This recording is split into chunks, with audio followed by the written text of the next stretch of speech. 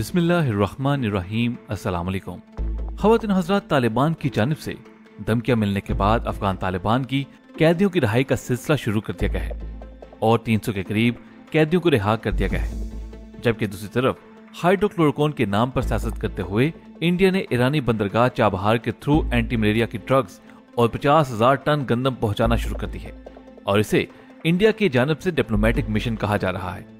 जिसका मकसद ईरान और अफ़गानिस्तान से ताल्लुकात बढ़ाना है। सवाल ये पैदा होता है कि कश्मीर में कशीदगी पैदा होते ही ईरान और अफ़गानिस्तान से इंडिया क्या मकासद हासिल करना चाहता है?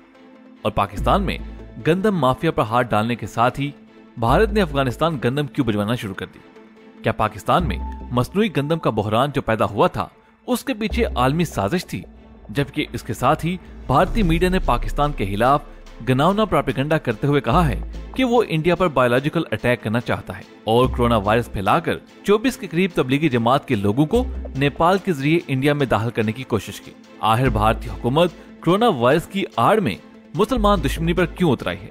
जबकि सोशल मीडिया पर कुछ ऐसी ही तस्वीरों ने तहलका मचा रखा है, जिसमें देखा जा सकता है कि कोरोना से मुतासर हिंदू औरत की लाश को उसके घर वाले छोड़कर भागे जबकि मुसलमानों ने उसकी लाश को उठाकर उसके आखिरी रसूमात अदा की। ये विजुअल फैलते ही मुस्लिम दुश्मनी का राग बनने वाली हिंदू इंतहा तंजीमों को सांप सूंघ गया है, जबकि इसके साथ ही लाइन ऑफ़ कंट्रोल पर कशीदगी अरूज पर पहुँचती जा रही है, क्योंकि भारत को खतरा है कि गर्मियाँ शुरू होते ही कश्मीर भर में महाज गर्म होने जा रहा है। इसी तरह अमरीकी सदर ट्रंप ने एग्जेक्टिव आर्डर पर दस्तखत करते हुए कहा कि अमरीका अब चाँद और मरी में किसी भी हिस्से पर कब्जा कर सकता है, जबकि हलाई तहकीक पर काम करने वाले तजियाकारों का कहना था कि अमेरिका को ऐसा महसूस हो रहा है कि इस वक्त दुनिया की क्यादत नहीं रही।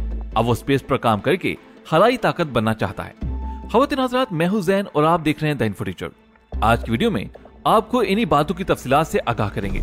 लेकिन उससे पहले अगर आपने अभी तक हमारे चैनल द इन्फोटीचर को सब्सक्राइब नहीं किया तो सब्सक्राइब कर लीजिए और साथ लगी घंटी को भी ज़रूर दबा दीजिएगा, ताकि ऐसी ही मालूमती वीडियोस आपको सबसे पहले मिल सके। और साथ ही साथ कमेंट्स में पाकिस्तान आर्मी जिंदाबाद, आईएसआई के गुमनाम हीरोज को सलाम का नारा भी ज़रूर लगाएगा। क्योंकि ये वो नारा है जिससे हमारे दुश्मन की चीहें निकलती हैं और हमने ये नारे लगाए जाने हैं।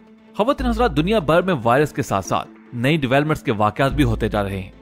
अफगान हुकूमत ने बिलाहर तालिबान की धमकी और अमरीकी इमदाद बंद होने की धमकी के बाद तालिबान के कैदियों को बिलाहर रिलीज़ करना शुरू कर दिया है। जबकि गुजशत रोज अफ़गानिस्तान में तालिबान ने अमरीकी फौज के सरबराह से मुलाकात की थी, जिसमें यह पैगाम दिया गया कि अमरीका अमन माहदे को बचा सकता है तो बचा ले, क्योंकि अफगान सदर अशरफ गनी भारत के साथ मिलकर अमन को सबूताज करने की कोशिश कर रहा है।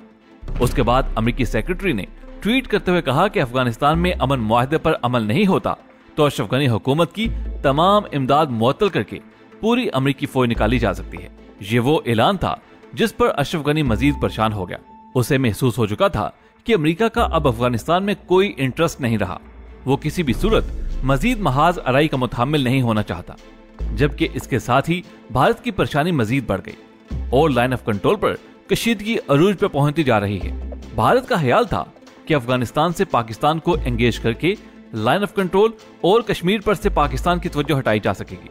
लेकिन इसमें नाकामी पर भारत लाइन ऑफ़ कंट्रोल पर मसनू कशीदगी पैदा करके अमेरिका को पैगाम दे रहा है कि अगर अफ़गानिस्तान का महाज छोड़ा गया तो पाकिस्तान कश्मीर में भारत के लिए मजीद मुश्किल पैदा कर सकता है। और अगर भारत की मुश्किल बढ़ गई तो चीन का घेराव करने वाला मामला भी खटाई में पड़ सकता है, जबकि भारत ने साथ साथ ईरान को भी अप्रोच करना शुरू कर दिया है। और पहली बार चाबहार बंदरगाह को इस्तेमाल करते हुए भारत ने पचास हज़ार टन गंदम अफ़गानिस्तान को पहुंचाना शुरू कर दी है। और इसके साथ ही हाइड्रोक्लोरोक्विन, यानी मलेरिया की अद्वियात भी ईरान और अफ़गानिस्तान को देना शुरू कर दी है और उन्हें लालच दी जा रही है कि किसी तरह वो एंटी पाकिस्तान ब्लॉक में शामिल हो जाएँ। वाज रहे कि चंद दिन पहले ईरानी सदर हसन रूहानी ने कई ममालिक को ओपन हाथ लिखते हुए कहा था कि वो इस मुश्किल सूरत हाल में कि जब ईरान में कोरोना वायरस ने तबाही मचा रखी है, उस पर अमरीकी पाबंदियों का बायकाट करें और ईरान को मदद फ्राहम करें, जिस पर इंडिया ने कोई रिस्पांस नहीं दिया था लेकिन जैसे ही अफगान तालिबान अफ़गानिस्तान में दोबारा आने लगे तो इंडिया पैनक में आ गया और उसने ईरान और अफ़गानिस्तान को लालच देना शुरू कर दिया, ताकि उन्हें पाकिस्तान मुहालिफ लाबी में शामिल किया जाए।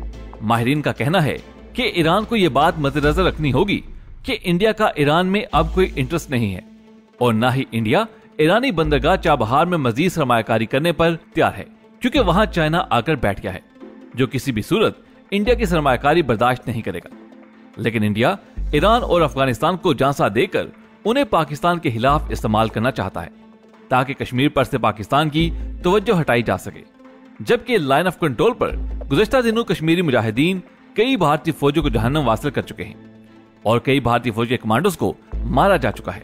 कश्मीर में जो लावा गुजशत नौ महीनों से पक रहा था, उसके फटने का वक्त आता जा रहा है और मुजाहिदीन की जानब से भरपूर कार्रवाई के खौफ से कश्मीर भर में कोरोना वायरस के नाम पर मजीद कर्फ्यू सख्त कर दिया गया है। लेकिन कश्मीरी क्यादत ने अवाम को बाहर निकलने और भारतीय जुल्म के खिलाफ एहतजाज का ऐलान कर दिया है और पाकिस्तान से इस सिलसिले में मदद की दरखास्त की है। इसीलिए आने वाले दिनों में कश्मीर में बड़ी कार्रवाई की तो की जा रही है, क्योंकि इंडिया का ख्याल है कि अब पाकिस्तान कश्मीर के मामले पर मजीद सबर नहीं कर सकता और वह कश्मीरियों के साथ मिलकर बड़ी कार्रवाई कर सकता है। खवतिन हजरात, भारत कोरोना वायरस की आड़ में मुसलसल मुस्लिम मुहालिफ प्रोपेगेंडा जारी रखे हुए है। गुजशत दिनों मोदी के स्पॉन्सर्ड मुस्लिम मुहालिफ चैनल एबीपी ने घटिया हरकत करते हुए एक झूठी खबर फैलाई। उसका कहना था कि 24 के करीब तबलीगी जमात के लोग नेपाल के रस्ते से इंडिया में दाखिल होने की कोशिश कर रहे थे, जिन्हें नेपाली हुकाम ने गिरफ़्तार किया है। और उनमें से दो लोगों का कोरोना पॉजिटिव भी आया है। और नतीजा ये निकाला कि पाकिस्तान तबलीगी जमात के ज़रिए इंडिया में कोरोना वायरस फैलाने की कोशिश कर रहा है। भारत के इस जहरीले प्रोपेगंडे की वजह से भारत भर में इस वक्त आग लगी हुई है। नफरत का जो बीज बोया जा चुका है, वो तनावर दरख्त बनकर भारत की नैया डुबोने जा रहा है। जबकि मोदी ने बेवकूफ़ी दिखाते हुए जिस तरह से अचानक लॉकडाउन किया, जिसकी वजह से कई मजदूर सैकड़ों मील का रास्ता पैदल तय करने पर मजबूर हुए और कई लोग रास्ते में ही जान की बाजी हार गए। यही वजह है कि मजदूर और किसानों की मौत के बाद एक नया लावा इंडिया में फटने जा रहा है। गोया हशवत सिंह की पेशगोइयाँ तमाम होने का वक्त आ रहा है। तो जानब अल जजीरा का कहना है कि सऊदी अरब यमन जंग के हाथमे का ऐलान करने जा रहा है, जो कि इंतहाई बड़ी डेवलपमेंट है। और यह भी हो सकता है कि पाकिस्तान की कामयाब डिप्लोमेसी का नतीजा हो, जो वो जंग के हाथमे के लिए करता रहा है। ये मामला इसलिए भी अहम है कि यमन जंग की वजह से सऊदी अरब पर मिसाइल हमले करवाए जा रहे थे, और सऊदी अरब पर यह दबाव था कि वो अमेरिका का बनाया हुआ मिसाइल डिफेंस सिस्टम खरीदे, जिसमें कई खराबियाँ भी पाई गई थी। इसके बावजूद अरबों डॉलर के मजीद असले के मुआहदे पर ज़ोर दिया जा रहा था, जबकि तेल की जंग की वजह से अमरीकी सेनेटर्स ने गुजशत दिनों ये ऐलान भी किया था कि वह सऊदी अरब से अमरीकी फौज निकालने के लिए सेनेट में बिल पेश करने जा रहे हैं, जो यमन जंग के हाथ में की वजह हो सकता है, जिसका मतलब ये भी लिया जा सकता है कि अब सऊदी अरब अमरीकी फौज या असले के हवाले से कोई मुआहदा नहीं करना चाहता। वाजे रहे कि 9 अप्रैल को हौसी बागियों ने दो हफ्तों के लिए सीज फायर का ऐलान किया था। कि रियाज में मजीद मामला तय किए गए, जबकि पिछले साल यूएई ने जुलाई 2019 को अपनी फौज निकालने का ऐलान किया था। और जिस तरह से लीबिया और शाम में तुर्की की आमद हुई, उसके बाद हित्ते का मंजरनामा मजीद तब्दील हो गया है। अरब ममालिक पर दबाव है कि वो अब तुर्की के खिलाफ उठ खड़े हों, क्योंकि ये खिलाफत उस्मानिया की बहाली चाहता है। जबकि पिछले दिनों ये खबर भी आई थी कि यूएई के prince Sheikh Mohammed bin Zayed ने बशारुल असद को तीन बिलियन डॉलर के इवज तुर्की के खिलाफ लड़ने का मुतालबा किया था और 250 मिलियन डॉलर भी बशारुल असद के हवाले कर दिए गए थे। लेकिन रूसी सदर प्यूटन ने बीच में आकर यह डील कैंसिल करवा दी। वजह इसकी ये कि लीबिया जिसे यूरोप का दरवाज़ा कहा जाता है, वहाँ इस वक्त शदीद तरीन लड़ाई हो रही है। अगर लीबिया पर तुर्की कंट्रोल हासिल कर लेता है तो यूरोप को मिडल ईस्ट से काटा जा सकता है। इसलिए तुर्की ने अब बाकायदा अपनी फौज भी लीबिया में तैनात कर रखी है और ये मामला किसी भी वक्त कहीं भी जा सकते हैं। इस सूरत में तुर्की ने ऐलान किया है कि वो इसराइल और फलस्तीन को कोरोना वायरस से लड़ने के लिए इमदाद देने जा रहा है, जिस पर सबने हैरानी का इजहार किया। क्या हर तुर्की इसराइल की मदद क्यों कर रहा है? असल माजरा ये है कि इस वक्त साइप्रस में गैस और तेल के जहाज़ दरियाफ्त हुए हैं और ग्रीस, जो कि साइप्रस का दावेदार है, वो नहीं चाहता कि तुर्की यहाँ से तेल या गैस निकाले। और इसराइल ने तुर्की के खिलाफ ग्रीस को मिलिट्री सपोर्ट देने का मुआहदा कर रखा है।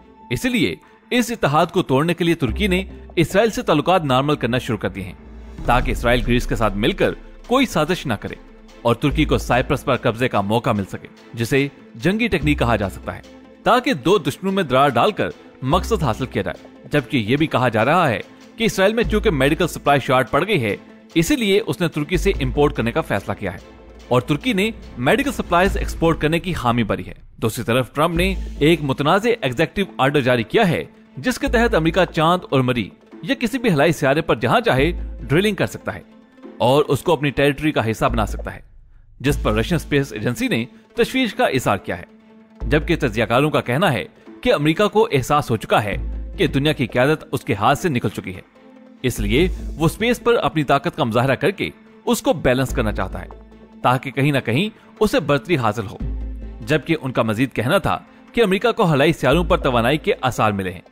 और अमेरिका चाहता है कि जल्द से जल्द सियारों में मौजूद ईंधन या तवानाई के जहायर पर कब्जा किया जाए, ताकि लोगों को ईंधन साथ ले जाने की बजाय हला में रीफिलिंग की सहूलत मैसर हो। जबकि ये भी इतलात हैं कि अमेरिका जिस किस्म के ईंधन की तलाश में है, वो इस वक्त रशिया और चाइना के पास मौजूद है। और अमेरिका नहीं चाहता कि वो तोानाई के मामले पर चीन और रशिया पर इन्हेसार करे। इसलिए वो ये ईंधन हला में मौजूद जहायर से हासिल करना चाहता है, जिससे मालूम होता है कि कोरोना वायरस के बाद दुनिया बड़ी तब्दीली की जानब जाती दिखाई दे रही है। हवातिन हजरात, आज की वीडियो में बस इतना ही। वीडियो पसंद आने की सूरत में इसे लाइक करते हुए फेसबुक और व्हाट्सएप पे ज़रूर शेयर कीजिएगा। आपसे मुलाकात होगी अगली वीडियो में। तब तक अपना बहुत सा ख्याल रखिएगा। अल्लाह हाफिज।